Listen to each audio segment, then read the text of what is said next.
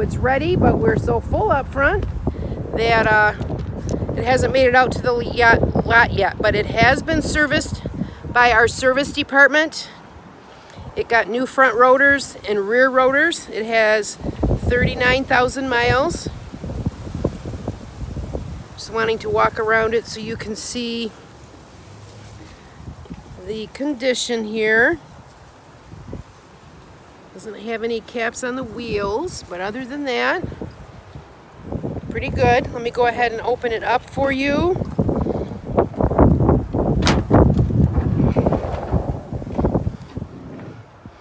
The inside of the work van.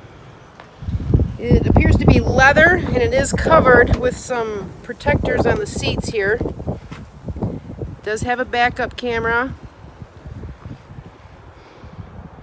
See any chips in the windshield. Again, it's a 2015, 39,000 miles. It can be seen at Cawood Auto in Port Huron. We're located right under the Blue Water Bridge, and uh, please give us a call. Set up a time to come in and take a look at it.